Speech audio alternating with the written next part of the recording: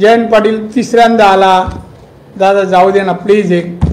मी जयंत मी परवानगी देईन या बाजूने जेवढी जागा आहे ना त्या जाडीने खाली मान करून सगळ्यांनी जायची.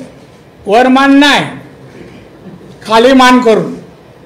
आणि वर मान केली काय झालं? तुम्ही जबाबदार नाही. नाही नाही मी जबाबदारी घेतो. जा. आणि मग एक एक असे जात होते. अशी मान नव्हती. अशी होती तिथून जाताना. बाहेर. मी त्या दिवशी पुतळा पाहायला गेलो. पुतळा दहा बारा मिनिटात थांबलो मला ते म्हणजे काय पणावरून झाकलाच होता पाहण्यासारखं काय नव्हतं. आता हा संजय दाखवतो ते पण नव्हतं झाकलेलं होतं. लगेच मी तिथून माझ्या घरी जाय माझ्या घरी जायला सात आठ मिनटं मी दुसऱ्या रस्त्याने निघालो वर मध्ये महादेवाचं मंदिर आहे. मी नमस्कार करायला मी थांबलो तिथे मला विजय वडेट्टीवार दिसले. मला काय विजय कसं काय?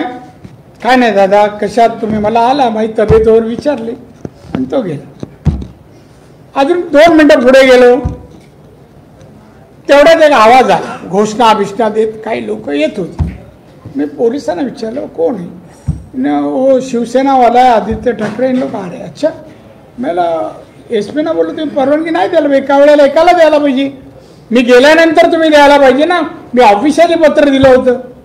त्याच्या तोंडात शब्द नाही तेवढ्यात ते आले. आले तर तुम्ही पुतळा पाहायला रिसर जायला पाहिजे ना. दुःखद घटना आहे. होय का? हे आमचे जो टकरांगा वगैरे वगैरे घोषणा देत तो कोण वैभव? तो दुसरा राऊत आणि बाकी सगळे. मग मी ते रूप पाहिलं.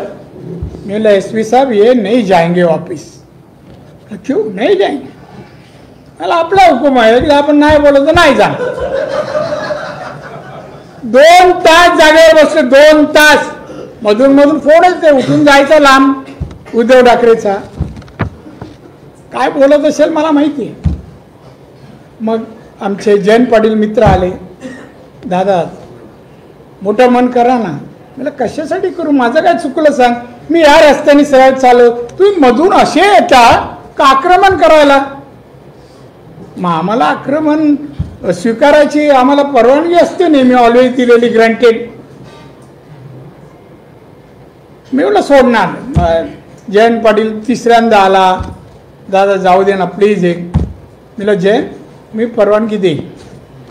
या बाजूने जेवढी जागा आहे ना त्या जाडीने खाली मान करून सगळ्यांनी जायची.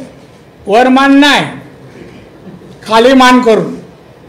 आणि वर मान केली काय झालं? तुम्ही जबाबदार नाही. नाही नाही मी जबाबदारी घेतो. जा. आणि मग एक एक असे जात होते. अशी मान नव्हती अशी होती तिथून जाताना. बाहेर आणि काय काय बोलतं? एका चौतीस वर्षाच्या पोराला रोखण्यासाठी बेचाळीस वर्षाच्या पोराला त्यांच्या बहात्तर वर्षाच्या बापाला घेऊ येऊन घ्यावं लागलं हीच दहशत असते जंगलात वाघाची. कशाशी वाक्याची तशी काही जोड नाही आणि आमच्या सिंधुदुर्गात तरी शुद्ध मराठी. बाप बी बोलत नाही मुलगा म्हणतात. बाप म्हणत नाही शिवी म्हणतात. आमच्याकडे कानफड्यात मारतात बाप म्हटलं तर. शिवी समजतं वडिलांना वडील बाप नाही. दहशत असते. हीच दहशत कबूल करतो. वाघाची दहशत तो कबूल करतो. आणि आतमध्ये मात्र तिथून कोंबड्या काढल्या असत्या तिथून काढ आता किशातून कोंबड्या फिरवतो का? हा? काही बोलतो म्हणजे मनाला येईल तेवढं. श्रावण आहे ना तर खिशातून कोंबड्या पण बाहेर काढल्या असत्या. काय रे? हा फोटो तुम्ही लोक सगळे छापता.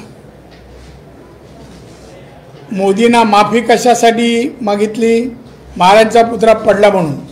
पुतळा बसवताना भ्रष्टाचार झाला म्हणून की भ्रष्टाचार करणाऱ्यावर पांघरून घालण्यासाठी मागितली. उद्धव तुझी लायकी नाही रे देशाच्या पंतप्रधानबद्दल बोलण्याची. लायकी नाही. तुझ्यासारखा भ्रष्ट माणूस मी जो पाहिलाय आत्तापर्यंत तुझ्या लहानपणापासून. अरे तू मला एक काम सांगितलं. मी त्या माणसाला फोन केला. किंवा उद्धवचं काम आहे करा. हे काम एवढं सांगायला या माणसाने तीन लाख रुपये घेतले होते.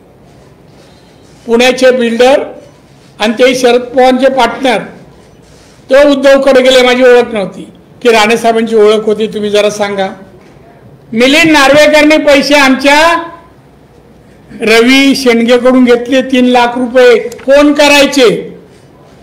काय रवी पण कुठेतरी असेल इथे. आहे का रे? असेल तर बोलाव जाता जाता हात. काय एवढं?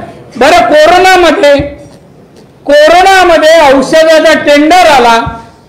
जशी आता चौकशी चालू आहे पंधरा टक्के पैसे घेतले पंधरा. आदित्य ठाकरेंनी भ्रष्टाचार या विषयावर उद्धव ठाकरेंनी बोलू नये. नारायण राणे असो एकनाथ शिंदे असो शिवसेनेचे शिवसेने नसलेले आणि आता मंत्री असलेले अनेक जण आहेत. एक एकच काम करत होते. मातोश्रीवर पैसे पोचवायचं. पैसे हाताने दिले. तुझी रसीद कधीच दिली नाही उद्धव ठाकरेंनी. हा बोलतोय भ्रष्टाचार. आणि मोदींवर बोलतोस तू. अरे जनाची नाही मनाची तरी. तू कधीच मुख्यमंत्री होऊ शकणार नाही. कधीच होऊ शकणार नाही. तुला वैचारिकता नाही. कुठल्या विषयाचा प्रशासनाचं नॉलेज नाही. कायदा कसा हाताळतात तुला एक टक्का पण त्याचं नॉलेज नाही ना ना बजेटचं कस काय म्हणू मुख्यमंत्री? तेव्हा शरद पवारांनी केलं. महाराष्ट्राला ही शिवसेना उद्धव ठाकरेची हिताची नाही. महाराष्ट्राच्या प्रगतीसाठी नाही. येणाऱ्या पिढीसाठी न्याय मिळेल नोकरी मिळेल. आर्थिक सबळता प्रगती होईल एक लोक कल्याणकारी महाराष्ट्र घडेल ही अपेक्षा नाही. आणि आहे ना संजय राऊत. आगलाव्या हा पेट्रोल घेऊनच फिरतो. कोण नसताना लावतो कोण असताना लावत. का तो राहणार नाही त्याला माहिती आहे. हे र- सरकार का प्रोटेक्शन देतं माहीत नाही.